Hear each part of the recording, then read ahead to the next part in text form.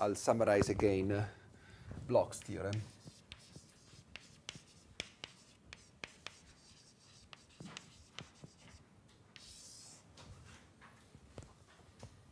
So uh, we have an Hamiltonian.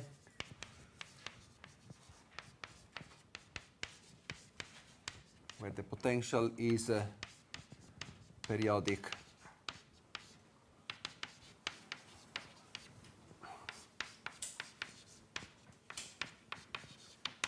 with respect to a Bravais lattice.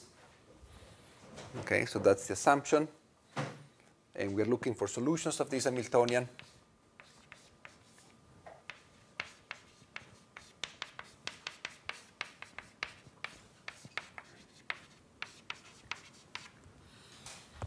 and we label solutions according to a number to a, quantum number k. So solutions can be uh, can be labeled by k belonging to the Brillouin zone. And second statement, psi k of R can be written as uh, uk of r e to the i k dot r, where this is a periodic function. Okay, periodic, of course, with the same periodicity as the potential. Okay, so that's the uh, hypothesis, and this is the thesis, what we, uh, what Bloch's theorem states. Notice that here I'm saying can be written, not must be written, can be written. You can write it in different forms, but whatever way you write it, you can actually rewrite it in terms of, uh, uh, in this particular form. An example was the function we determined last time as a solution of our one-dimensional problem. It wasn't obvious that the solution could be written in this way, but actually it, it could. We managed to write it in this form just by uh, algebraic manipulation. Um, okay, uh, just a minor uh, consequence of this. Uh, the function, again, we discussed last time, the solutions do not need to be necessarily periodic.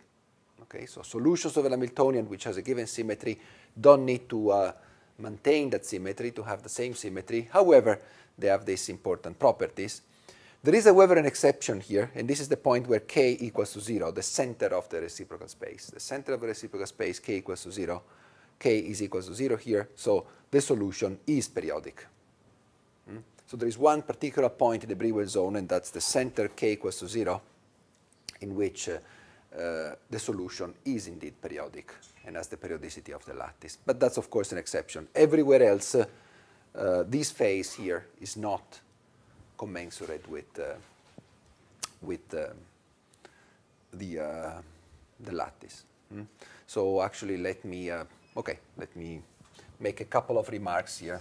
So a, if k is equal to zero, psi of k, which is equal to zero, of r, is indeed periodic.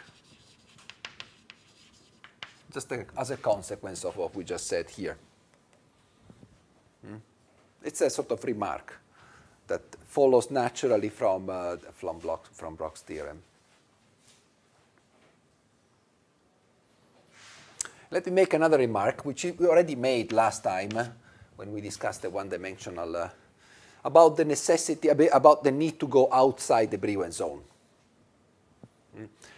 Let me recall what the Brillouin zone is. The Brillouin zone is the Wigner-Seitz cell in reciprocal space so once the Bravais lattice is defined, we can define the reciprocal lattice. Okay. Once we define a reciprocal lattice, we can define unit cells. The Wigner-Seitz unit cell in reciprocal space is the Brillouin zone. Hmm? So we have we are now working in uh, when we talk about K, we are working in, in reciprocal space. So and when we say that K belongs to the Brillouin zone, hmm, we say that uh, we're not really saying that K must be inside the Brillouin zone.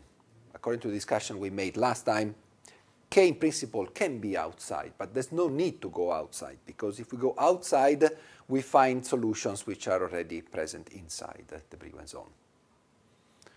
Okay, so let me now uh, re, uh, re uh, evaluate that statement in, this more general context. So suppose, okay, I have, I define a wave function, I define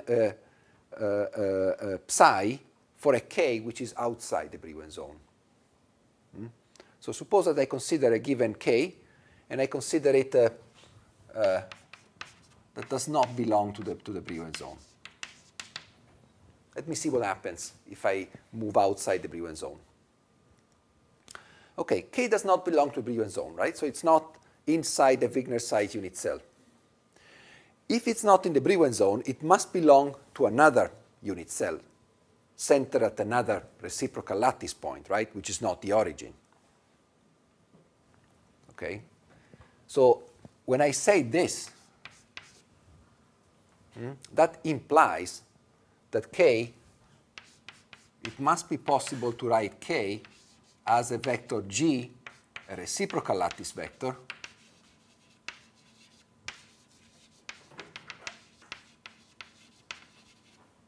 plus a vector which is in the Brillouin zone.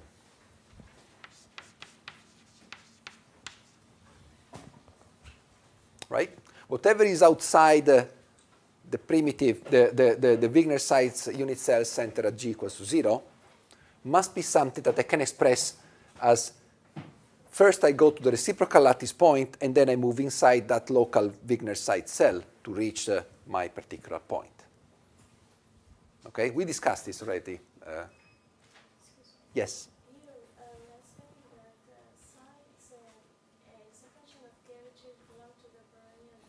Well, the psi is not really a function of k. Uh, uh, this is a parameter. The psi is a function of r. It's a wave function. But you can label different psi's according to index k. So it's a parameter more than a function of k.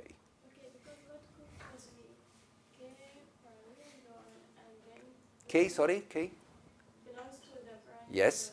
K belongs to Brillouin zone, yes. Yes, and then down there, you are writing psi as a function, as a periodic part, which is periodic in the, Sorry, periodic in R.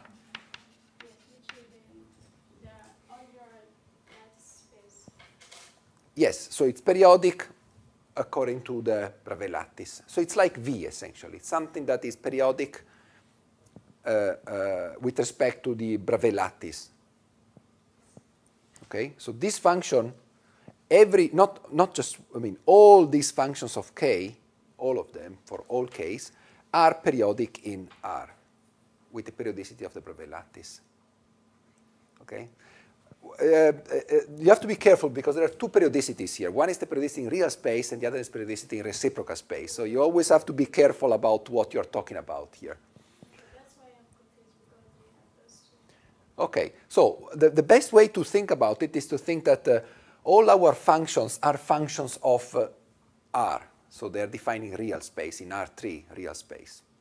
However, there also there is a different function for every k. And k is an index that is a con- continuous index and runs over the reciprocal space. Okay? So in fact, I always try to avoid the statement that these are functions of k. Although, I mean, in practice, you can think of them. Suppose you fix r. This is a function of k, of course, because for different k's, you have different numbers. uh. But I try to avoid this uh, terminology because uh, these are actually functions of r, and they're just labeled by k. So different k's give you different functions. Hmm? Okay, so uh, let me consider, uh, for example, that k does not belong to the Brillouin zone. What's, what, what happens? So if k does not belong to the Brillouin zone, let me, um, I hope you're all now by now familiar with this, but let me, just for the sake of clarity, suppose this is the reciprocal lattice, okay? We're working in the reciprocal lattice. This is the Brillouin, this is the Brillouin zone in reciprocal space, right? K, Y, K, X. That's a square lattice, of course, right? This is 2 pi over A, this is pi over A, and all that. That's the Brillouin zone. If I have a point that lies, say, here, outside the Brillouin zone, obviously I can write it as a G plus a small vector that belongs to zone, right? This is a small vector that, that is inside the zone. In other words, I just I, I, I have to translate my origin here, and then I move inside the zone, centered at that point. Okay, that's the meaning of this. If a point is outside the zone, I can reach it by first moving with a big jump on the reciprocal lattice vector, and then close to that reciprocal lattice vector, I can use a vector of the Brillouin zone. Okay, but if this is true, then my function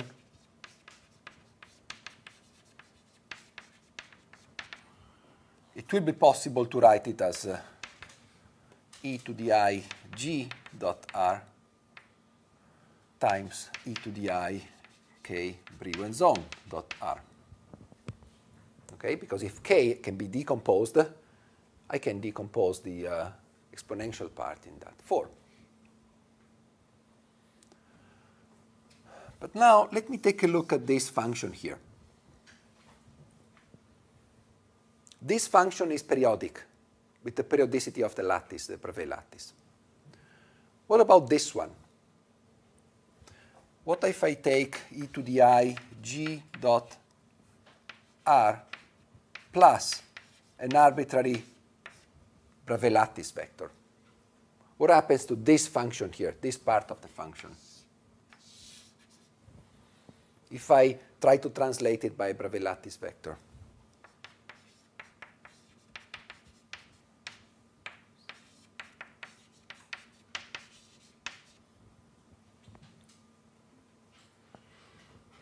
Reciprocal lattice vector, Bravais lattice vector. This is 1, right? So this function is also periodic. Okay, that's actually a very important statement that we'll, uh, we'll use uh, several times in the future. A plane wave where G is a reciprocal lattice vector, reciprocal lattice vector, mm, it's one of the vectors of the reciprocal lattice, is a periodic function. If G is not a reciprocal lattice vector, say it's a K, for example, in the Brillouin zone, this is not a function, a periodic function, of course.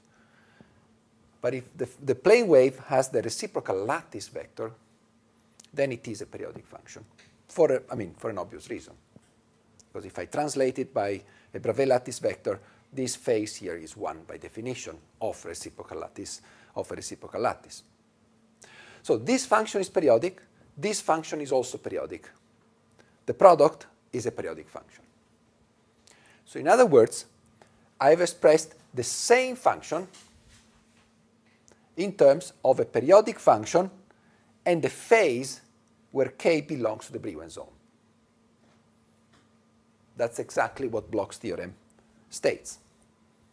Notice that I've taken advantage of the fact that uh, Bloch's theorem states that I can write the wave function in that form, not that I must write the wave function in that form. Okay? So it, it was possible for me to write the wave function even if k was outside the Brillouin zone, it has been possible for me to rewrite the wave function in a way that contains a periodic function and the phase with k equals to the Brillouin zone. That's exactly what Bloch's theorem states. So I can use, I can, not I must, I can use this number, this vector, to label my wave function. I don't need to go outside the Brillouin zone. Because I've been able to write it in a form that is uh, consistent with Bloch's theorem and k belonging to the Brillouin zone. I understand the logics is a bit uh, difficult to digest, but that's the way that's the way it is. I just wanted to you to get a little bit more uh, familiar with this. Okay. Any question about this? No. Great. Let me now continue and uh, try to find ways to solve my problem. After all, I mean, this is just a theorem that states uh, I mean, what the wave function looks like, but it doesn't really solve my problem because uh, it just trans translates the problem of determining psi into the problem of determining u, right? It doesn't really solve my problem. I simply change the, the, uh, the target of my search. If I want to solve this Hamiltonian and find psi, what Bloch's theorem tells me is simply that uh, I can write it in this form. It doesn't say what u is, right? So I'm just transforming the problem into the problem of solving this Hamiltonian into the problem of determining this periodic function, u. Okay. However, I've, I hope you realize that this kind of, this kind of uh, help is extremely useful. There is a, one important reason why this is extremely useful, and this is the following. In principle, is a function defined over the whole space and can take any possible value, right? It's a function defined in R3, period. We don't know anything else about it. As soon as we introduce Bloch's theorem, we transform the search for a, a generic function defining space into the search for a function that is now periodic. Okay? What periodic means is that uh, I can define that function within the unit cell, for example, for r's inside the unit cell. And once I define it inside the unit cell, I'm done because I know it's periodic. Okay? So I've restricted the search for my wave function from the whole space into the space of the unit cell, which is a finite region of space. All right? Now, this is a tremendous simplification because uh, I can work with a finite space. I don't need to work throughout the space. I can simplify the search considerably. I just need to search now for solutions uh, inside the unit cell. And outside the unit cell, they must be periodic if I look for uh, solutions in terms of u. Then, of course, once I determine u, I can construct psi easily, the solutions throughout the space. So Bloch's theorem is, in some sense, uh, that's actually the spirit, I mean, uh, the usefulness of Bloch's theorem is that it allows me to uh, restrict the search for my solutions uh, from the whole space into the space of uh, periodic functions, that is, functions where that if I define them within a unit cell are defined also anywhere else in, the, in space. But what is the equation that determines u now? We know the equation that determines, that determines psi. It's an eigenvalue equation. But what is the, the equation that determines u? I've simplified my job because I, I'm now looking for periodic functions, but I also need to write down an equation, a differential equation that determines u. Well, the obvious way to do it is to just take this object here and put it here and see what we get, right, in terms of the equation. So let's do that.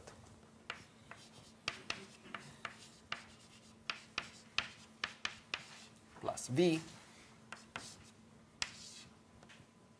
U. K. E to the i.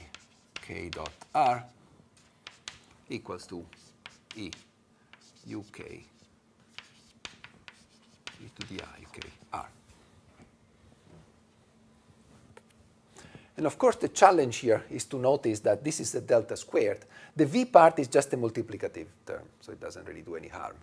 The, the, the problem here is that this is delta square, and delta square now applies to a product of functions.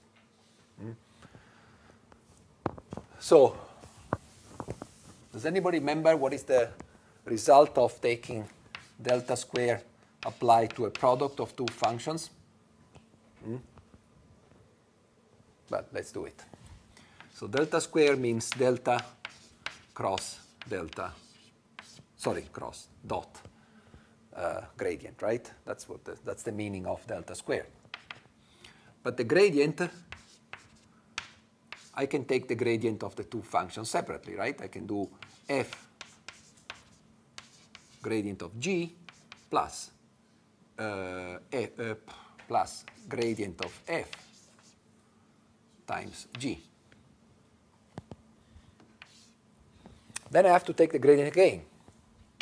Well, let me continue. So this will be gradient of f dot gradient of g plus f gradient squared delta square of g plus gradient square of f times g plus delta f dot delta g, right? Just have to remember the definition of delta square. Delta square is the uh, gradient uh, of, uh, uh, well, it's delta dot gradient of uh, f times g.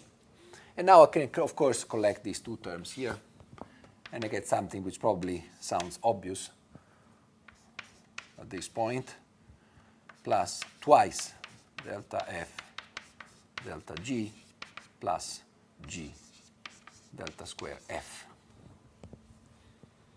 Okay?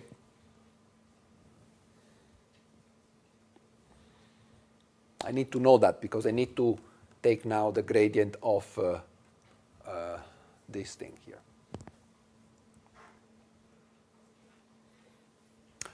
I will also need to know the gradient and the delta square of a plane wave.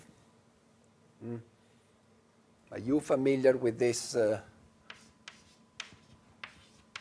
can you tell me right away what is the gradient of uh, a plane wave? Mm? I, k, this is the gradient only.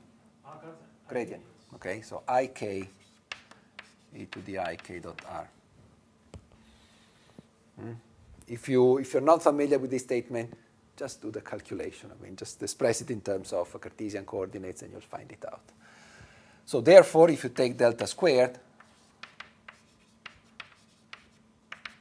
this is minus k squared. Right? I'm sure you know this, right? Because otherwise you wouldn't know anything about quantum mechanics of free particles. Okay, so with all this in mind, let me uh, work out this. So minus h squared over 2m. All right, now I have delta square applied to this product. The first term is uh, uk times delta square of uh, e to the i k r. So this is minus k squared e to i k dot r. Then plus 2 gradient of u k. Let me remark, if it wasn't clear, that this gradient is a gradient of, as a function of real space, okay? So it's not a gradient uh, with respect to k. It's a gradient with respect to whatever is the uh, argument of this function, which is the real space. Just again, not to confuse the, uh, the two spaces. Times the gradient of uh, the plane wave, which is uh, ik e to the i k dot r. All right? Last term, it's delta squared uk e to the i k dot r.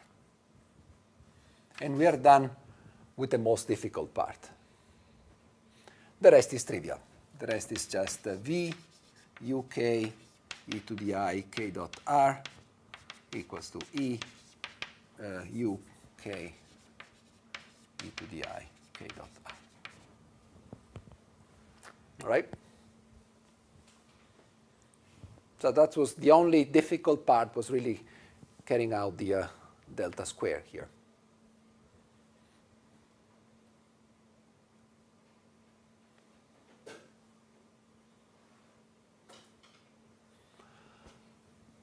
Okay, so let me now remove everywhere e to the i k dot r, which is present everywhere. Hmm? And let me regroup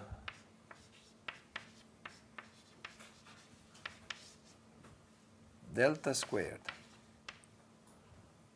Uh, I can invert here the order. I mean, this is not uh, operators any longer. So it's plus 2i k. k now is just a number, right? So I can, I can exchange it with the gradient. Delta. Mm, minus. K squared. Applied to u, okay, plus v u of k equals to e u of k.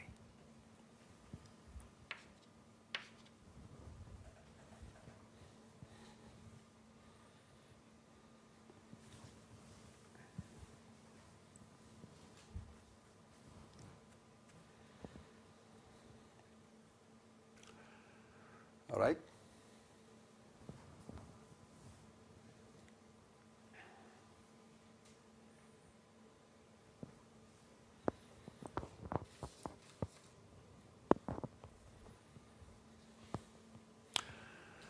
What's the difference between this equation here and the original Schrödinger equation that we had, this one here? Well, first of all, it's an equation that applies to u, not to psi any longer, which is good for us because we know that u is simple to handle because it's a periodic function. On the other hand, the price we pay is that uh, we, we are introducing two additional terms here, which were not there at the beginning. So it's no longer just kinetic energy plus V, but it's something else. There's a kinetic energy, there's a term proportional to, to gradient, so it's like a momentum, sort of a magnetic field, if it wasn't for the fact that this is the scalar product. This is just a constant, right? K is a number, is a vector, so this is just a constant, a number. So this is not really harmful. This is a bit more uh, harmful because we are introducing an additional term in the Hamiltonian which is proportional to the gradient, that is, to the momentum operator. In fact, I shouldn't really call this an Hamiltonian because this is not an Hamiltonian. U is not the wave function. It's only part of the wave function. It's the periodic part of the wave function. So you always have to think of this as just a mathematical exercise, not really as a, as a transformation into a new Hamiltonian. The real Hamiltonian is H. We're expressing psi in this decomposing psi in this form, and for one part of the wave function, we obtain this uh, second order differential equation. There's not more than we can say about it. It's not a real Hamiltonian. We can, of course, think of analogies uh, if we want to solve this second order differential equation, but we shouldn't really call it an Hamiltonian because this is not a physical Hamiltonian. U is not a wave function, it's only part of the wave function. So the price we pay uh, in order to be able to introduce a periodic function is that unfortunately there are some additional terms in the Hamiltonian. I will call it Hamiltonian anyway, hmm? and I will actually give it a name. So I will actually write this as uh, h of k, u k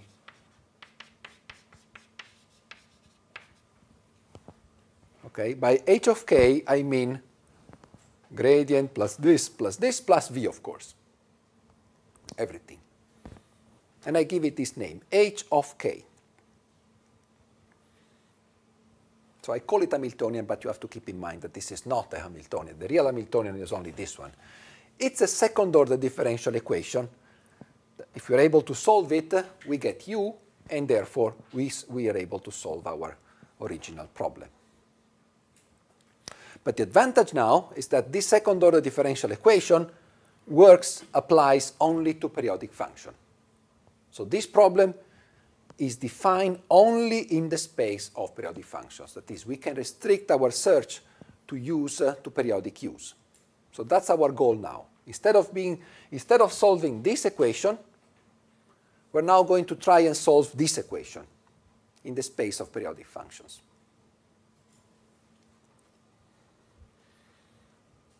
So let me summarize everything here. So h of k is uh, minus h squared 2m delta square plus 2ik dot delta minus k squared plus v. And the problem we are solving is h of k, u of k equals to e of k, u of k So that's the new problem that we are solving now, which just follows from Bloch's theorem.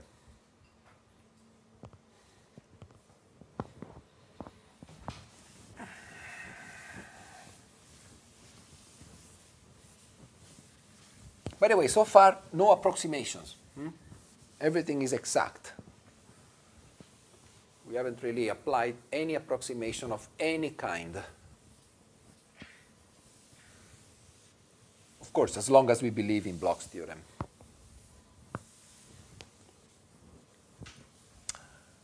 All right. So K belongs to the Brillouin zone. Oh, sorry, I forgot to mention. K belongs to the Brillouin zone, mm, and the possible values of K's are infinitely many. Mm? So it is true that we have restricted our search to the set of periodic functions. But not only we have complicated our life because we have introduced these two additional terms in the Hamiltonian, we're also complicating our life because now we have to solve this problem for all possible values of k in the Brillouin zone. Okay? Not just for, uh, for one.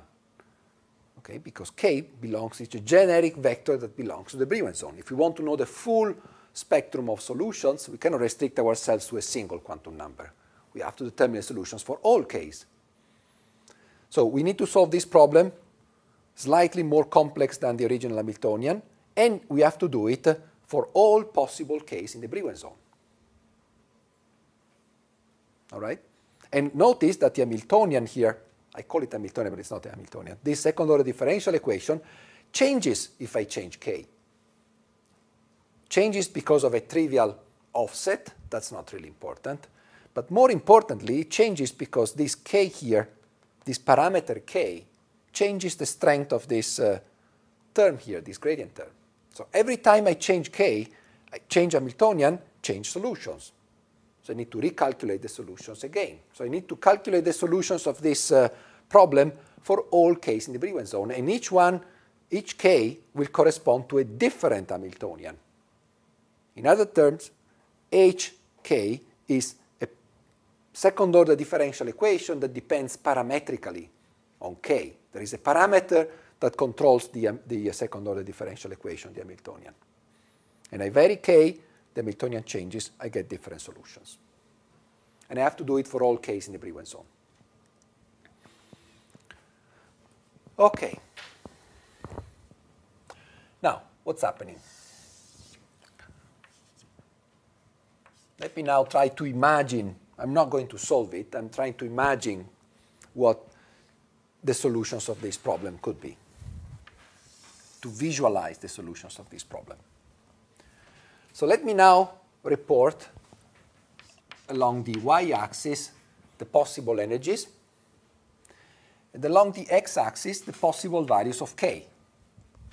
Now, I know we're in three dimensions, but allow me to uh, use a single axis uh, to represent uh, the three-dimensional space. Or if you wish, you can think of a one-dimensional problem. Therefore, k is only a single line. So there'll be somewhere there will be the end of the Brillouin zone, here and here. If it's a one-dimensional problem, this is pi over a and this is minus pi over a. Okay, so solutions will only be defined within uh, some boundaries, right? This is outside the Brillouin zone, so we don't really need to go outside. We just stick to uh, vectors k within the Brillouin zone.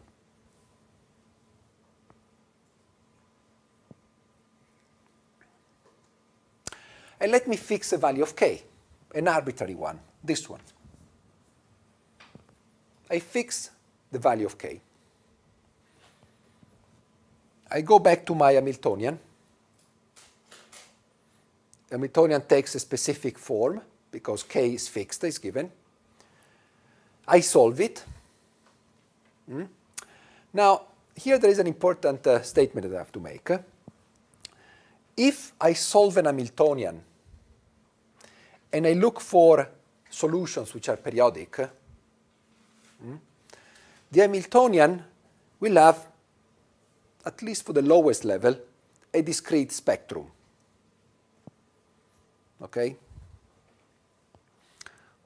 Uh, it's, I mean, mathematically it's not straightforward to prove, but think of it, for example, at the, uh, just the free electron problem. You have a free electron problem that you want to solve, and you force the solutions to have a given periodicity. Okay? If you force the solutions to have a given periodicity, you can only have the solutions plane waves which are commensurate with the period. Once, one times one time the period, two times the period, three times the period, right? Only wavelengths which are commensurate with that particular periodicity will be allowed. Okay? That, of course, leads to a quantization of the spectrum, of the energy spectrum, leads to a discretization of the energy spectrum. So I'm just going to argue this in very qualitative terms. If you have the free electron problem, solutions are of the form plane wave form. If you force these solutions to be periodic with some periodicity, well, uh, well, let's do it in one dimensions. If you force them to be periodic with periodicity A, right, only values of Q equals to 2 pi over n A, 2 pi n over A are periodic with periodicity A, right? And therefore, even the energies, they, they, the energies will be 2 pi n over A squared, right? So they will be discrete. Only for specific integers you will have energies. There's an equivalent uh, statement uh, if you, uh, instead of working with periodic systems, you work with confined systems. If you confine your solutions of a quantum problem into a well-defined finite region, the spectrum is, uh, is discrete. Mm. So these are all general statements that you can make in quantum mechanics. I don't want to prove these statements, just want you to have a, say, a general feeling that this is not so far from the truth. Okay? So what I'm going to use now in my discussion is the fact that uh, once I restrict the solutions to this Hamiltonian to periodic functions, for a given k, I'm going to obtain a discrete spectrum of solutions. That's the only ingredient that I need at this point. So for a given k, well, if it's a plane wave, if it's a free electron problem, the spectrum will be given by n squared. This is not a free electron problem because I have a potential V, a generic potential V. So, well, I will have some solutions. I will have, say, a solution 0, which I can label by 0. Actually, let me label it with 1. That's the first one. I will have another one here, 2, perhaps another one here, 3, another one here, 4, and so on and so forth. I mean, I will have a spectrum of solutions, which will depend, of course, on the potential V for a given k. The only additional information I've introduced, in addition to the statements, to this uh, theory that we've developed so far, is that I'm arguing that the spectrum of this Hamiltonian is a discrete spectrum, generic discrete spectrum. So I'm just labeling the states with 1, 2, 3, 4, and of course 5, 6, 7. I mean, it's an infinite number of states, which are the eigenvalues of this Hamiltonian, the solutions of this problem, for a given k. Fine. Are you all fine with this? Yes? No? Yes. Let me change now k and take a k which is very close to the previous one, but to the left. Okay? I'm now moving just a little bit to the left. How is the Hamiltonian going to change if I change k? If I change k, it's going to change a little bit, but it's going to change in a continuous fashion, right? Because if I change k, this here the Hamiltonian will change just a little bit. I mean, continuously change as a function of k. This is, after all, a continuous function of k. So obviously, also the eigenvalues will change only continuously with respect to the ones that I obtained at the given k, at the previous one. So, well, I will have, again, a discrete set, but the set will correspond to, to values which are continuously connected to the previous one, right? After all, the Hamiltonian is a continuous function of, continuous function of k. So the, the, the eigenvalues themselves will change smoothly if I change k. In fact, I can continue this exercise for all k's. And well, I will get some lines here.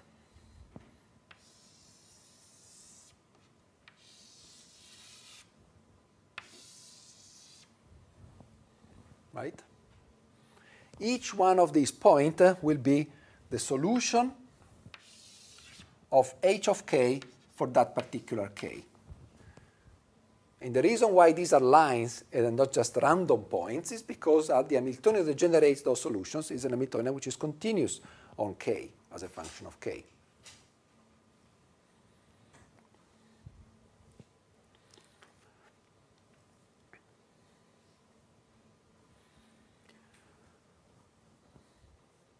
So what we've concluded out of these uh, arguments is that if I express the solutions of my problem in terms of k, this quantum number k, I'm going to get some lines if I'm in one dimensions. Of course, if you now expand k into a three-dimensional space, these are no longer lines, but they are three-dimensional surfaces. If this is two-dimensional, this will be two-dimensional surfaces, of course. And in three dimensions, this will be three-dimensional surfaces, with E being the fourth dimension, of course. It mm, takes a while to visualize something in four dimensions, but uh, so that's why we just do it in one dimension. In one dimension, these are just lines. Now, what I've shown here is what goes under the name of uh, band structure.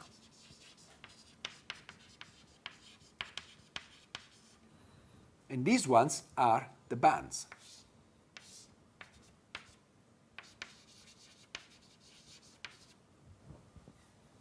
Or to be more precise, these are the electron bands. So the solutions of the electronic problem in a periodic system.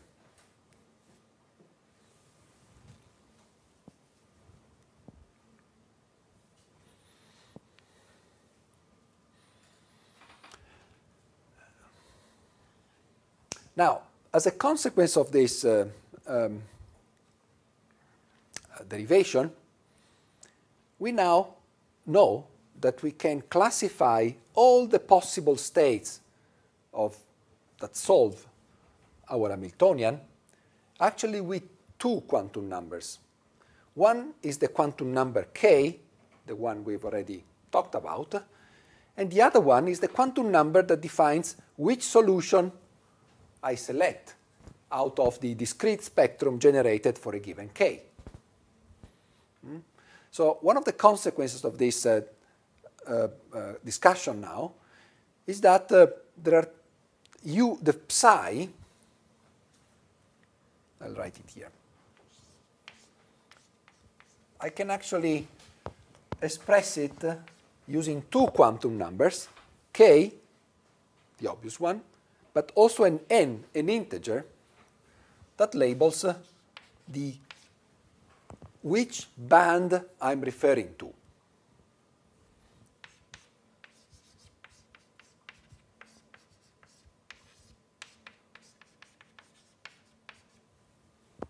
So in other words, the general solution to my problem can be expressed in terms of a periodic function times a phase, and this periodic function can be labeled according to uh, the quantum number k, which belongs to the Brillouin zone, plus an additional quantum number, which for every k tells me which band I'm considering.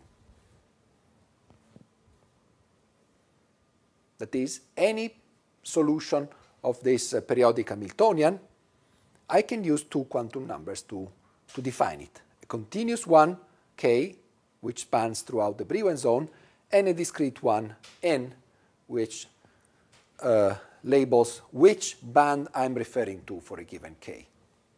So there are two quantum numbers that define solutions uh, of uh, a periodic Hamiltonian. The band index and the k vector. If I give you these two indices, you can tell me exactly which solution I, I, I, I, I had in mind. Just like if I tell you what is the principal quantum number and what is L and what is M, you can tell me what is the eigenstate of the hydrogen atom problem that I'm referring to. Yes?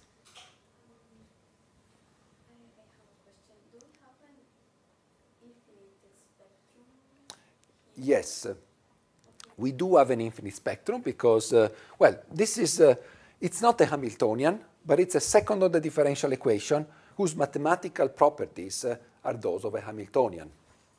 Okay?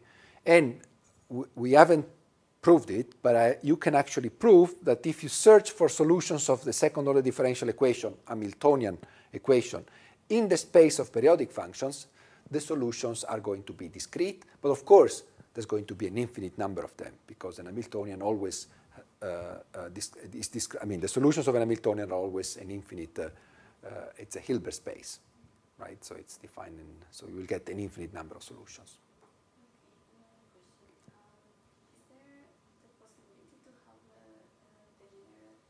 Yes, of course. So the question is, is there a possibility to have degenerate states? Yes, of course.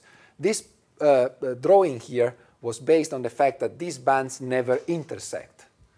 But you may have intersection of bands, right? You may have these lines may actually intersect. You may have situation in which this goes up and this goes down. So there will be an intersection. Here, it's a degeneracy, for example. You may also have degeneracy more likely at the uh, edges or at the center of the Brillouin zone. Mm? So there may be degeneracies, yes.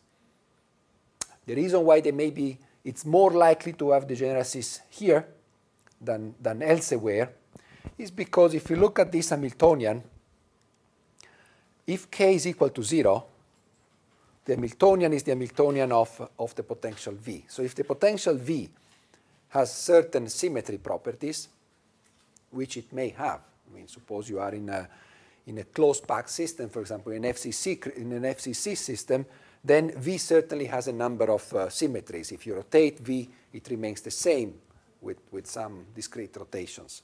So these kind of symmetries typically reflect in degeneracies. So at k equals to 0, you may have plenty of degeneracies. As soon as you go outside k equals to 0, you're introducing a term, this one in particular. This is irrelevant, but this one in particular, that breaks all the symmetries. Mm? Because as soon as you introduce, if k is an arbitrary number, there's no longer any reason why uh, there should be symmetries remaining in the system. Well, there are in some cases, but not, uh, not necessarily. So you typically rarely see degeneracies outside the center of the Brillouin zone, with some exceptions, of course. So yes, there may be crossings, there may be uh, degeneracies, there may be a number of things. This plot was just the oversimplified uh, uh, I mean, one possible scheme. In fact, there are a number of mistakes there that you'll become more uh, familiar later on. Mm. Well, actually, let me discuss one obvious mistake uh, that uh, descends uh, uh, directly from uh, here. Right, let me discuss it here. What happens if I take k and I send it to minus k. Suppose I solve the problem of k. Can I say something about the problem at minus k? That's the question. Well, let's see how the Hamiltonian changes if I go from k to minus k. h of minus k is minus h squared over 2m delta square minus 2i delta k all the rest remains exactly the same. Right? So here is the only change, this minus here.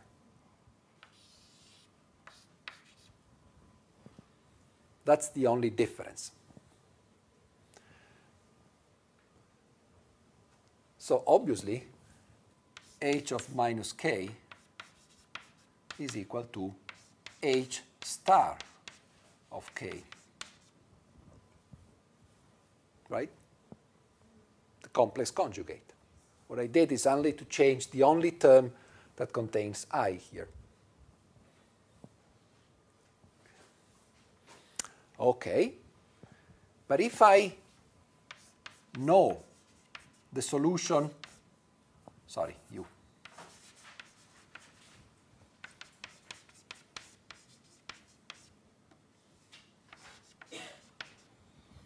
I know that this is true because I, know, I assume that I solved the problem at k. Let me take the complex conjugate of this equation. Well, e is a real number. This is h of minus k, right? So u star is an eigenfunction of h of minus k, right? According to this equation, u star is an eigenfunction of h of minus k with eigenvalue h of k. All right? So if I send k into minus k, the solutions will be identical to the solutions at k, the only difference being that uh, u's will be complex conjugates of the u's at k. The energy will be exactly the same. Hmm? And of course, when I construct the real solution, which is psi, I will have u star here, but also e will change sign, right? The exponential part will change sign because I change k into minus k. So the whole thing will become the complex conjugate of what it was at k. That's it, as simple as that. So knowing the solution at k gives me obvious, trivial, in a trivial way, also all the solutions at minus k. The only thing I have to change is to take the wave functions and take their complex conjugate. The energy remains the same. Okay? So that means that this plot is clearly wrong because this plot uh, here should be, there should be mirror symmetry around uh, k equals to 0, right? Because whatever I get at k, I must get it at k at minus k. So, well, in fact, I try to maintain some symmetry here, even it's not so nice. Here there is a little bit, well, it's not certainly symmetric. So there is clearly a mistake in this plot due to the fact that uh, the energy as a function of k has a symmetry, E of k equals to E minus k. Okay, so there is a mirror symmetry, not a mirror symmetry, sorry, it's mirror symmetry in one dimensions. It's a reflection symmetry, I mean it's a k minus k. Um, inversion symmetry in three dimensions. All right, so E of k E of n, let me put an index n because this is now, there are different energies for every band, is equal to E of n minus k.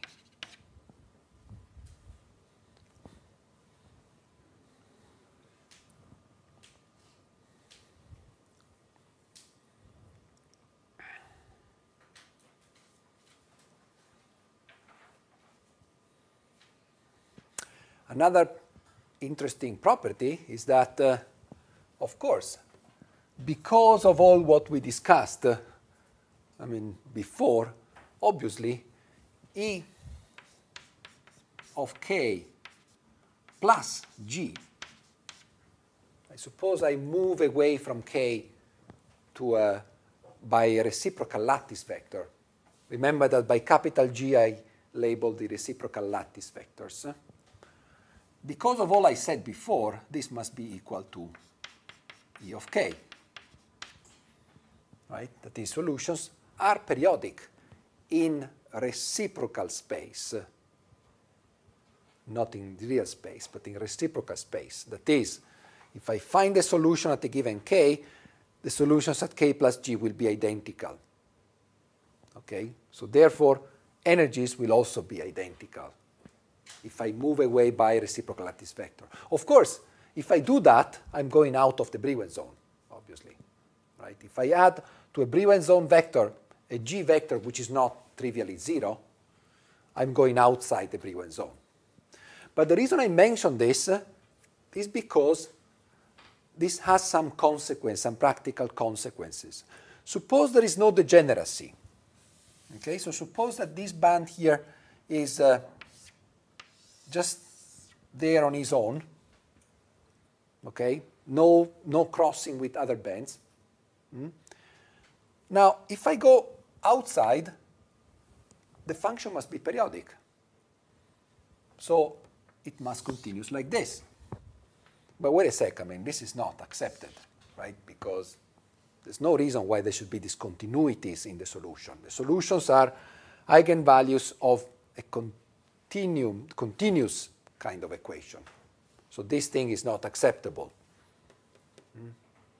So here, in order for this to be periodic, I, I have to have a, a zero derivative here in order to be able to establish periodicity. Okay, as well as here, of course.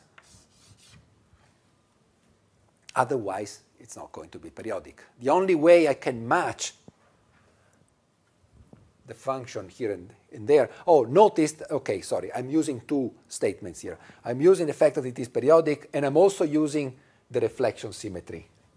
Because otherwise I could have written this like this, and this like uh, this, right? But this wouldn't be consistent with the uh, k minus k symmetry, because here it would go down and here it would go up. So the combination of uh, uh, translational symmetry in reciprocal space and k minus k symmetry forces me to have a, a flat derivative at the edges when I get to the, to the, uh, to the edges of the Brillouin zone. If I don't have any degeneracy, of course. Okay, I'm just listing a number of consequences of all these uh, symmetry properties. So this is an interesting one, although this is not in principle uh, interesting because uh, you're going outside the Brillouin zone. It allows you to make statements about uh, the way the bands have to uh, reach the edge of the Brillouin zone. They must reach it, if they are non-degenerate, they must reach it in a flat way. So there are a number of consequences again. Symmetry, k minus k, periodicity, uh, and I would say that's it for the time being.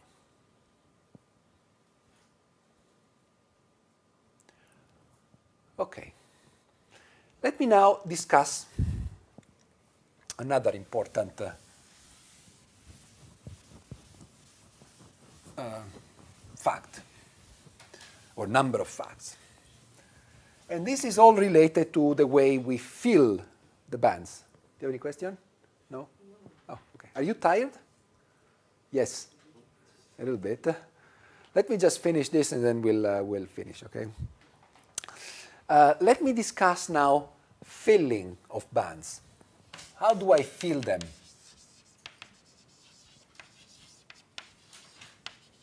With electrons, of course. Now, I have my Hamiltonian. I didn't specify anywhere how many electrons I had in my system. So I need to, at some point, after I gave you the Hamiltonian, I need to tell you, well, this Hamiltonian is, I mean, given by this potential, but I also need to tell you how many electrons I have in my system, right? So in particular, I need to tell you how many electrons I have, the number of electrons in the unit cell. Notice that I'm not making any reference now to how many atoms I have in the unit cell, uh, where are the atoms, uh, I mean, details that we had to discuss when we were using a specific model, the hydrogen atom chain, for example. Here I'm, I mean, talking about very general statements that don't really uh, depend on the actual number of atoms, uh, where the atoms are located, and things like that. The only thing I'm assuming is that the potential is periodic. So if I go from one unit cell to another unit cell, the potential is exactly the same. That is, the atoms are placed in exactly the same positions. And this is all I need in order to make these statements. I need something else, however, in order to fill the bands, and this is the number of electrons I have in the whole unit cell. I don't need to know the number of electrons that, uh, that are, are, I mean, of one atom, of another atom. I need to know the total number of electrons that I have available, because at the end of the day, well, of course, in order to calculate this number of electrons, I will use the number of atoms and the kind of atoms that I have in the unit cell. But I don't need to say that these electrons will stay on top of a given atom or stay on top of another atom. At the end of the day, I have a spectrum, I have a total number of electrons, and I will have to fill this spectrum according to the total number of electrons. It's like the covalent bond or like uh, this uh, one-dimensional problem. We don't need to know where the electrons came from, but we need to know how many we have because we need to be able to fill this uh, band structure properly. So this is a parameter that is somehow outside our theory so far, but needs to be specified at some point in order for us to be able to uh, fill properly the bands.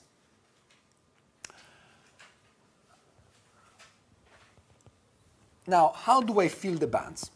The basic principle I have to keep in mind when I fill bands is that each band, each band corresponds to uh, a number of states of uh, a number of states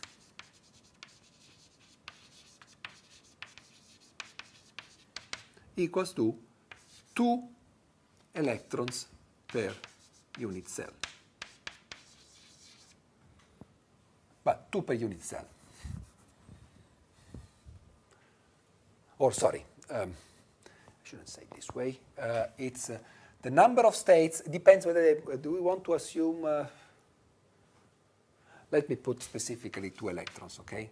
Because the number of states is one state per unit cell, but I can place in each state two electrons, okay? So what I want you to remember is that each band corresponds to, uh, an, uh, if I fill it completely, I, will, I will need to use two electrons per unit cell, and that fills completely a band. Okay? Now, we didn't prove it. Well, we proved it for a one-dimensional case. We didn't prove it for the general three-dimensional case. It can be proved. We don't want to do all the mathematics, but this is an exact statement. Okay, so you have to keep it as not as an approximation. This is actually part of uh, all our series of exact statements that we've made so far. Each band corresponds to uh, two electrons per unit cell. So suppose the band structure is uh, this one, and I have one electron per unit cell. So I'm dealing, for example, with, let me, give, let me make uh, specific examples, okay, concrete examples. The first example we make is, for example, we are working with uh, lithium, actually no, with, uh, oh yes, let's do lithium. Lithium, which is uh, a BCC crystal right? If you, the crystal structure of lithium is BCC, at ambient conditions at least. I hope so. Yes, I think so. So, BCC is a Bravais lattice, okay? There's one atom in the unit cell, one lithium atom in every unit cell. How many electrons do I have? right? Lithium has three electrons.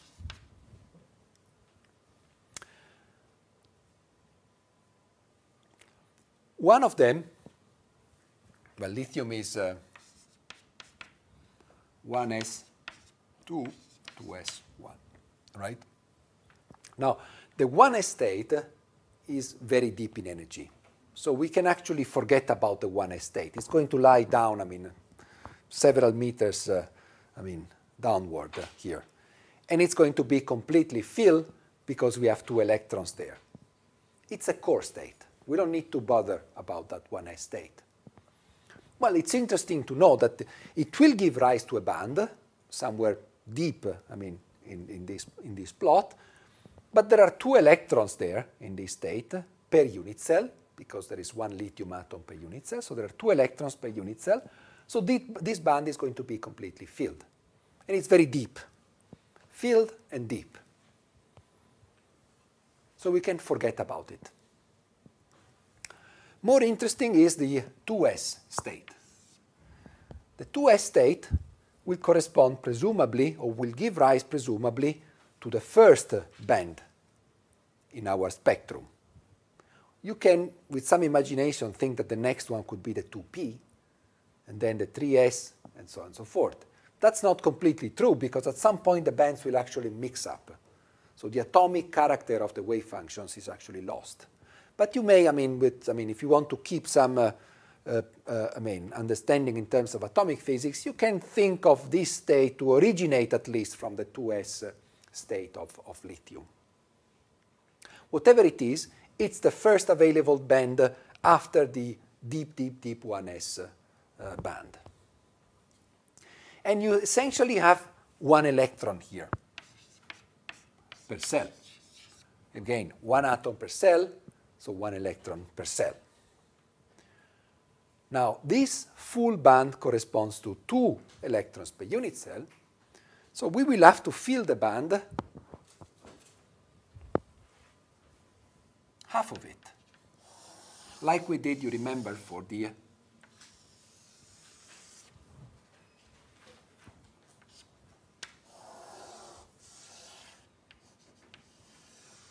The green states will be filled, the white states will be empty.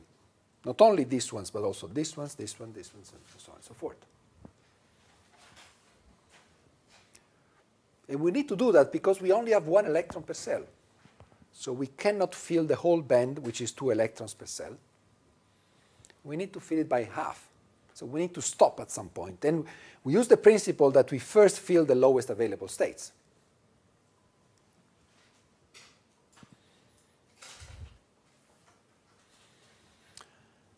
Now, this particular value of the energy, where the field states stop, it's called the Fermi energy.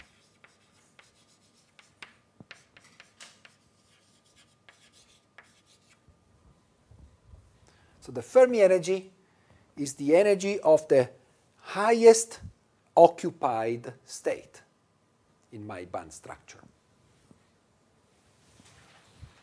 In molecular physics, it would be called HOMO, the highest occupied molecular orbital. In solid state physics, we call it Fermi energy.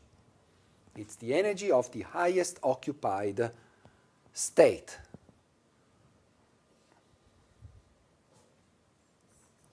Yes? Um, not really. It's, we will see, we will study all this in the context of the free electron gas later on. Okay? but not necessarily. I mean, it's all part of the same theory, but it's not really strictly speaking related to the Fermi gas. It was Fermi who actually introduced all these concepts. Uh, not, not just him, but uh, he gave a, a, number of important contributions to the whole theory. So the, it's not really related to Fermi gas, although, of course, uh, they are connected in some, in some way. But you'll see it later on when we discuss the free electron gas. So this is called Fermi energy, right? The highest, uh, the highest occupied uh, energy of the system. What if we are dealing, instead of lithium, we are dealing with uh, uh, magnesium?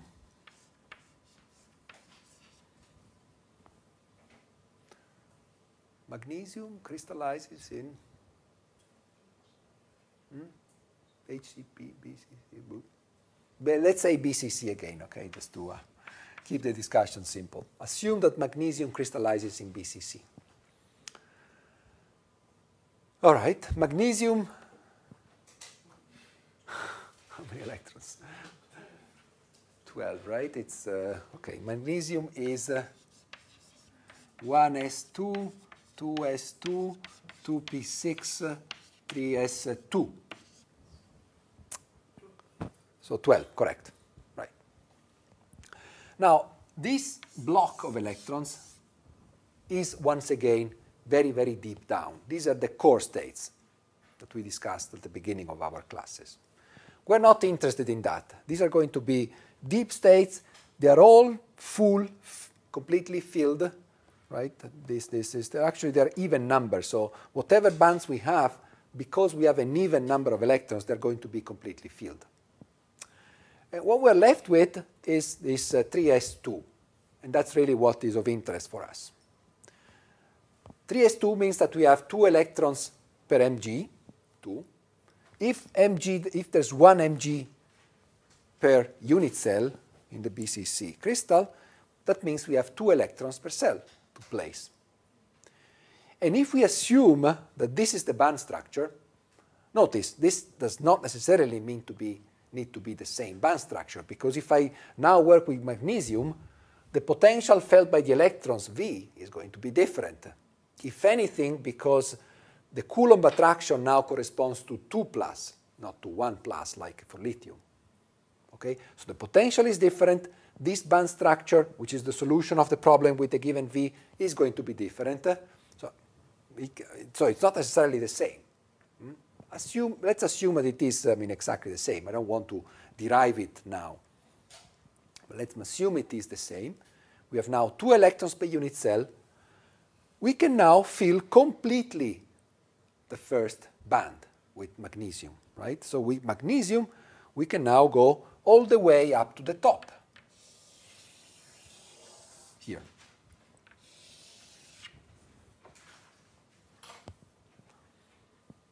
and that's it.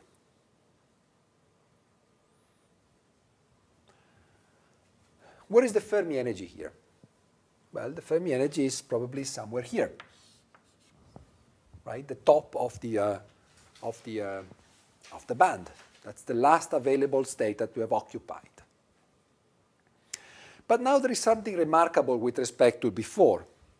Before, the last available electron here, with the one with the highest energy, was arbitrarily close, actually was essentially coinciding with the first available state, empty state. Okay?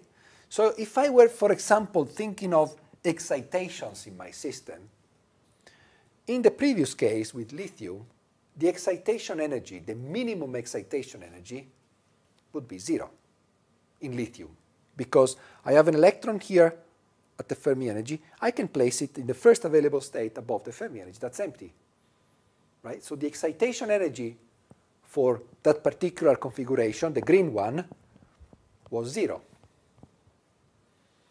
If I now do the same for magnesium, I feel completely disbanded. So there's no available state any longer that I can excite my electrons into. The first possible state is, uh, well, well, it must be the same, by the way, because of periodicity. So it's either this one or this one, which must be the same because of uh, because the periodicity of the solutions implies that solutions here must be identical to solutions here. All right? So there is a finite energy that, that I require to give, that I'm required to give to the electron in order for this electron to be excited. Well, any one of these electrons requires a finite energy in order to be excited. So the first excitation has a finite energy. That's going to affect dramatically the properties of my system. And we'll see the consequences in quite some detail later on in terms of transport, in terms of optical properties, in terms of a number of consequences. What I want, to, what I want you now to realize is that there is a, a clear qualitative difference between uh, the green situation and the orange situation. The green situation, there was clearly no excitation energy. There was freedom for electrons to be excited into empty states immediately available at zero, in principle, zero cost uh, for the orange situation, I need to overcome a gap. Mm, let me use, start using terms that, uh, so this is a gap, or an energy gap, if you wish, in order for electrons to be excited into the first available state.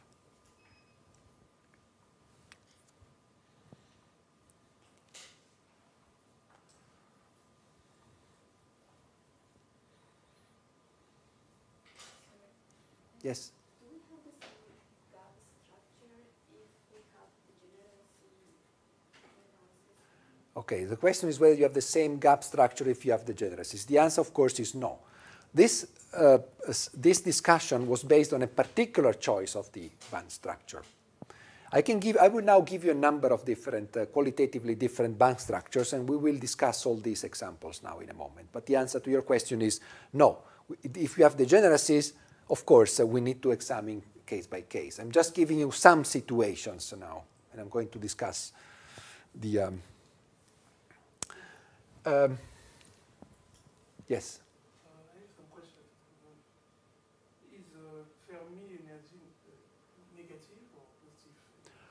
Well, it doesn't really matter, I mean, because the zero of the energy can be wherever you want uh, here. Mm? Uh, if you wish, we can discuss uh, how, where to place the zero of the energy, but that will take me a while. Uh, the zero of the energy in an infinite system is not mathematically defined, unfortunately.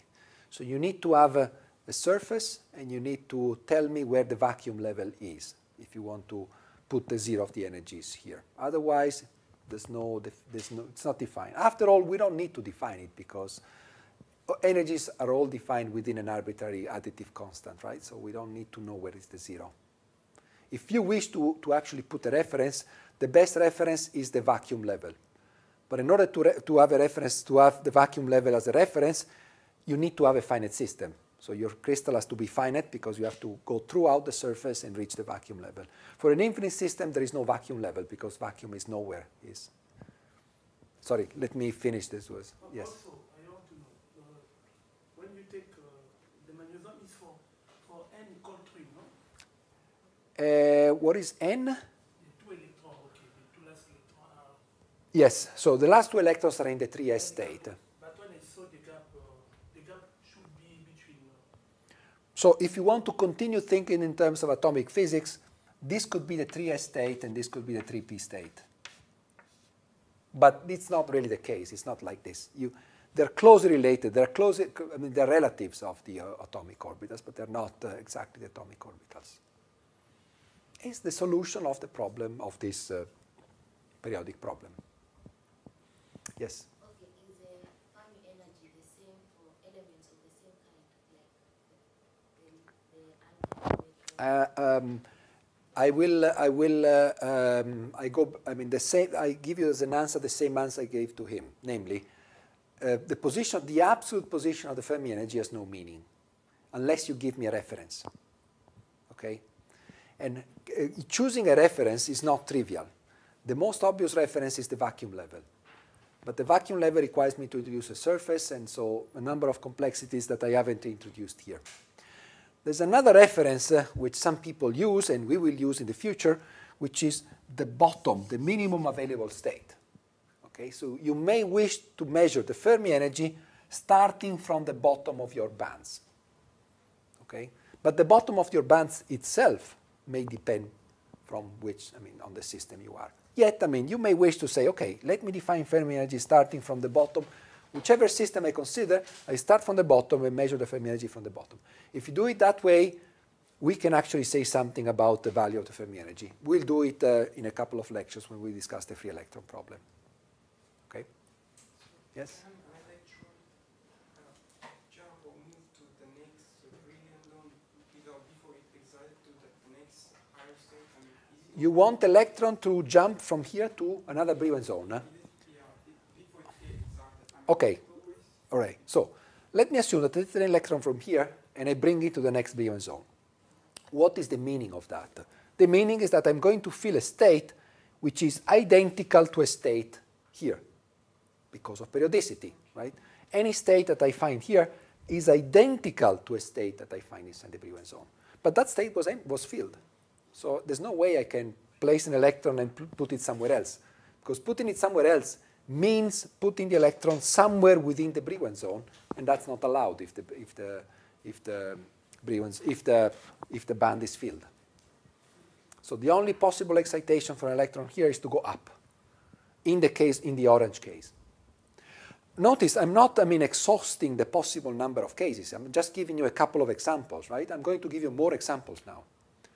In fact, those of you who are already familiar with solid state physics might wonder how can magnesium have an energy gap, an excitation energy gap of excitation? Those of you who are familiar with solid state physics, and we'll come back to that, uh, probably know that uh, uh, a metal is characterized by a vanishing excitation energy, all right, by the green sort of configuration, not certainly by the orange one. Yet, magnesium is a metal. Hmm? Magnesium, bulk magnesium is a metal. So, what's happening here? We've, in this schematic band structure, we find magnesium to be an insulator, that is a system in which uh, there is a finite excitation gap uh, for, uh, okay, so there's something wrong here. Let me give you another example, and that, that what, what we thought could be wrong is, is actually not so wrong. So I gave you the example of magnesium, but uh, magnesium doesn't really behave this way. Otherwise, it would be an insulator, and it's not.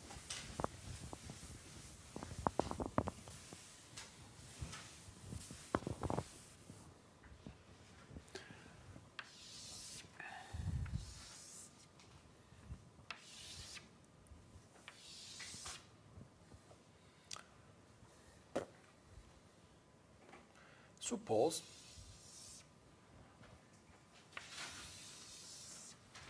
I have this band structure and others here. Well, of course, with k minus k. I'm drawing very qualitative pictures here. I mean, it's not really. E. Let me now repeat the uh, magnesium argument again. I have two electrons. Hmm? Good. I have to start, uh, use the orange, I guess. Okay. I will start filling the initial state here. By the time I get to this point, uh, if I did everything properly, I've probably used uh, half of uh, half of my available electrons, that is one, right? If by the time I get here, but as soon as I go past this point, uh, suppose I get here, well, this state becomes available. So I'm not allowed to really go all the way up to this point. Because then if I went up to this point, filling the states up to this point, I would neglect the fact that here I have states which are empty and are available and are lower energy. Hmm? So obviously, what I should do is to go up, start filling also these states uh, here, and presumably, I mean qualitatively at least, uh, I will have to stop presumably here. So this remains white. And I will have to fill uh, these states here. So this one, this one, and this one. And the Fermi energy will be here. And I use two electrons per unit cell, right? I fill completely, well, I didn't fill completely a band, but I filled almost completely a band, and what was left, I used it to fill the, the remaining part of the other band. But if I do my counting properly, I've, I'm done. That's the way I should do it.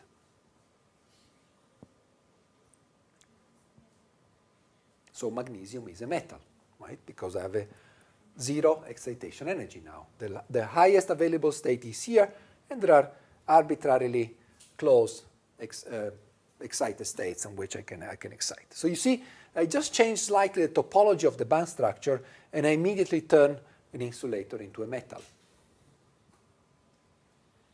Right?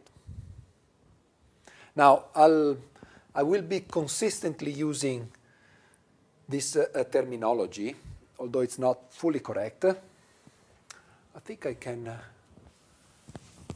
this side of the blackboard.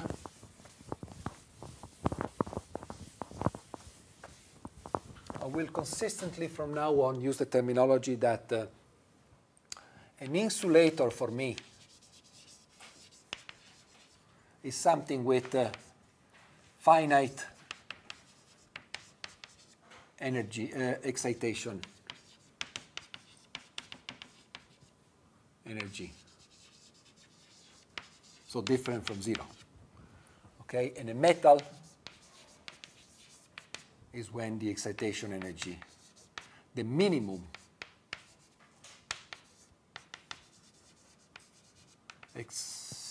excitation energy is equal to zero. Uh, this is the way I will define my systems. Uh, there is, of course, a of, a word of caution here. There are systems, real system materials, for which the minimum excitation energy is zero that don't behave like metals. Mm? Uh, so the phenomenology is actually a bit different. I'm, I'm, uh, there are some exceptions, I mean, a few, but there are exceptions. Uh, let's stick to, the, uh, to this definition because it's simpler for our purposes. But I would like you to keep in mind that what we define as an insulator, what we define as a metal, is just this for our purposes. Mm? The truth is that there are some systems, uh, rare class, classes of uh, category of systems in which the, the minimum excitation energy is zero, and they don't behave like metals. They don't conduct electricity. Mm? But let me keep using this notation because this, this definitions, this terminology for, for simplicity. Okay. Let me make a couple of final statements about, uh, about this. Suppose I have an odd number of electrons per unit cell, of course. One, three, five, seven, nine. What can I say about whether the system is a metal or an insulator? I have an odd number. If I have an odd number, there's no way I can fill completely a, a given number of bands. I will have to leave at least one half filled, right, if it's odd. Because if I were able to fill completely uh, a given number of bands and, and that's it, hmm, uh, that would correspond to an even number of electrons. So if, if it's odd, it, it must be either like this, I mean, and then there is an extra electron somewhere else, or it, the last available band is divided in two. That is, the Fermi level cuts the last band, because that band must contain one electron, not, I mean, the, the final one. Okay? So if I, deal, if I have an odd number of electrons, uh, this is never true, right? Because if this is true, then I have to be able to fill completely a given number of bands, but that corresponds to an even number of electrons. Okay? So a not number of electrons per unit cell, not an insulator. Well, it's a metal. Okay? Yeah. If we consider, for instance, sodium, okay, Sodium, yes. uh, If you 11 cons- electrons, right? right. And now when we write the configuration, we'll have one is, okay, let's write We'll have an extra, we'll have 1s2, 2s2, uh, 2p6, 3s, no, actually, sodium is actually 11. 11, okay, so it's, uh, yeah, 3s1, right? Yeah, but uh, there is cases, okay, the outermost will be, okay, half filled and full filled, right? So it becomes raised to 2 and the, the 2p will be, instead of p6, it becomes 2p5. And it is more safe, I don't know. What you want to have is that uh, 3s, okay. All right, so you're arguing that sodium is 1s2, 2s2, 2p6, 3s1, okay? Then you want to say, okay, I, I think I know what you mean. You want to take uh, uh, uh, uh, an electron from P, make it 5, and do 3s2. Yeah, and there are cases in which case it is stable, right? Okay, then this is completely filled. And what about this one? Yeah, it is not completely filled, but there are cases in which it is stable, right? It is stable only if this half-filled band is above the 3s2. Otherwise, this electron will fall down here. So what you're saying may be true, but if in order to be true, that the band that contains these uh, five electrons, or one of them at least, must be above the 3s2 band. Otherwise, it would be more convenient for the electron to fall down and fill the available space. Yeah, You're talking about an excited state, but we're not talking about excited states here. We're talking about the ground state of a system. yeah, okay. Yeah. Yeah, it looks natural to have two p6 and three s1, but. Uh, No, but what I'm arguing is that the, for, I'm not arguing that it is not possible that this happens. But if it, if it does happen, then that 2p state must go above the 3s2. And then you will still be left with uh, an empty, a partially empty band because the 2p5, the five electrons, they will have to be placed in 2 plus 1 half. Right? So whatever you do, I'm not saying cannot happen. What I'm saying that it, if it is up, if it does happen, in any case, you end up with this statement. There's no way you can violate this statement because in order for, in order for, in order for the system to be a, an insulator, you must fill completely all the bands, and that leads to, a, to a, a, an even number of electrons. Okay? Now, one has to be careful, however, and that's something. Uh, of course, this is the number of electrons per unit cell, and therefore I can say that sodium is a metal, but only if there is one sodium per unit cell. If the unit cell of sodium was made of two sodium atoms, by chance, mm, because, I don't know, HCP, for example, which contains two atoms per unit cell, then I, I wouldn't be able to say that sodium is, an, is a metal, because there would be two atoms per unit cell, and therefore the number of electrons, total number of electrons, would be again even, because the sum of two odd numbers is an even number. Mm? So be careful, it's per unit cell, not per atom, of course. Fortunately, the, the, the unit cell of uh, sodium is a monatomic unit cell, is the Bravais lattice, so I can actually make this statement. Sodium is a metal. lithium is a metal.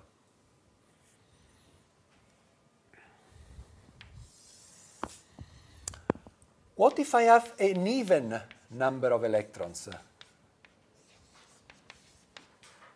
per unit cell? What can I say? Can I say that the system is an insulator? Here's the counterexample. I have an even number of electrons. Well, if the band's crossing this way, it remains a metal. I certainly cannot say that the system is must be an insulator. Yes?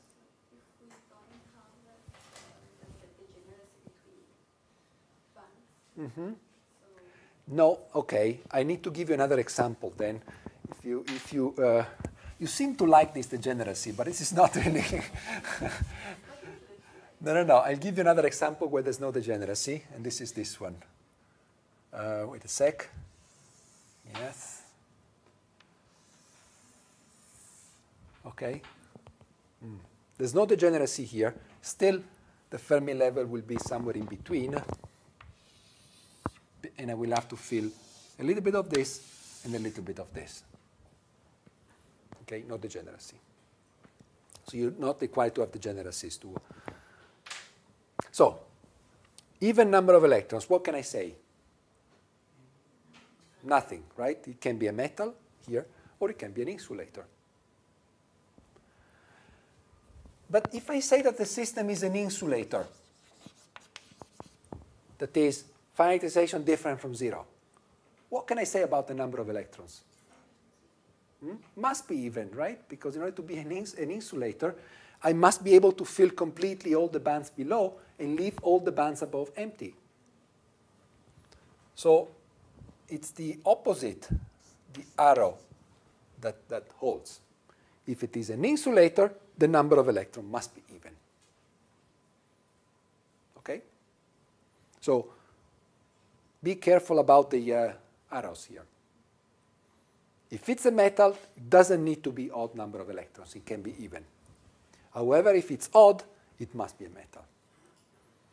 If it's even, doesn't need to be an insulator. But if it's an insulator, must be an even number of electrons per unit cell. Okay? Yes? I'm confused how you have explained between the number of atoms and electrons. Okay, yes. So the, um, your question is about number of atoms and, and number of electrons per unit cell. All what I'm saying holds if I count the number of electrons per unit cell in my crystal. So when I make considerations based on the number of electrons uh, for given atoms, here, for example, I'm assuming that there is one magnesium atom in the unit cell. That is, that the uh, crystal structure of magnesium is a monatomic crystal structure. In that case, I can say, well, there will be two electrons in the unit cell. Same here in lithium. There will be one electron in the unit cell. However, suppose that magnesium crystallizes in the HCP crystal structure. HCP contains two atoms in a unit cell, right? So the number of electrons in the case of lithium, if lithium crystallized in the HCP, the number of electrons in the unit cell for lithium, let me forget about the core states, will be 1 plus 1, 2. Okay? So I would be in a situation with an even number of electrons per unit cell if lithium was crystallizing in HCP. Okay? So what I could say is essentially nothing. It could be an insulator, it could be a metal. If it crystallizes in the FCC or BCC, aha, then I can say it's a metal, for sure. Hmm? I'm pretty sure that lithium, if I were able to place lithium in an HCP, it would be still a metal. But I cannot say it from, from, from my general considerations. While I can certainly say it for sure if I know that lithium is in a monatomic uh, structure, that it is, it is going to be a metal. Yes? If we have an atom with many electrons in the valence state, Yes? then can we argue the same thing here? Because Yes. if we go like if the state is uh, like in, and then if it's I mean if it is not deep, I mean we have many states and then there Yes. are Okay. the band is small, so All right, so you're arguing if you have many electrons per cell. I mean, you're arguing about whether this distinction is important or not in general. Whatever it is, uh, if you have an, an even number of uh, electrons, if you have uh, states that are completely filled, uh, Mm. And if, if it is heavy, like um, if it is far away from the core state, Well, the heavier it is an atom, the deeper are the, the states typically, yeah, because the larger is the. yeah, the core is down, but uh, the, the valence state is uh, abscess, so Well, take a transition metal. Transition metal is a typical example of a system with many electrons in the valence state and some electrons that are borderline. Okay, take uh, iron for example. Electronic configuration of iron. All right, wait a sec. Let me try and 2s2, 2p6, eh? 3s2, 3p6, uh, uh, 3d10, right? Yep, correct. Okay, well, all right. So, this is clearly core state. Mm, Several. I would say up to this point, uh, they are clearly core states. These states here are, I guess, the, of the order of 50 to 100 electron volts uh, below the vacuum. So they're borderline. This is uh, 20, 10, 20. This is 50, and this is 100, I guess, roughly. So, well, you may argue that uh, it's not obvious whether I should consider them as core states or not. Um, you can put them in, but they, they, they will contribute with an even number. So it won't change your considerations about the last valence states, because whatever you do, you're adding even number of electrons. So if it's odd, it remains odd. If it's even, it remains even. Right? So yeah, okay. The only difficulty could be if these states were heavily hybridizing or intermixing with the 3D states when you place them in a solid. Of course, in that case, you would have to consider that, uh, well, you have a total of uh, 18 electrons to play with. They are not. I mean, in a number of cases, you can, you can still assume that these are quite localized in terms of atomic states. So they are clearly sep- they clearly form bands that you can identify. These are the bands originating from 3s and 3p, and they are filled completely filled with 2 and 6. So they're not core states, but they are still localized in terms of bands and completely filled. So they're not particularly um, harmful. In any case, they contribute with an even number of electrons. So uh, you just need to look at the last one because all the other ones will be even. So it doesn't change your considerations.